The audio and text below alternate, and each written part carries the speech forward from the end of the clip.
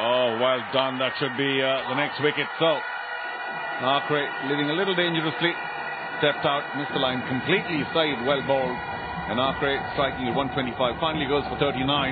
There you go. Akre was so successful stepping out, but this time around the keeper was up to the stumps. And he did his job so well there. Quick hands, good collection. Captain himself, Yogesh Takawale. Smart work there.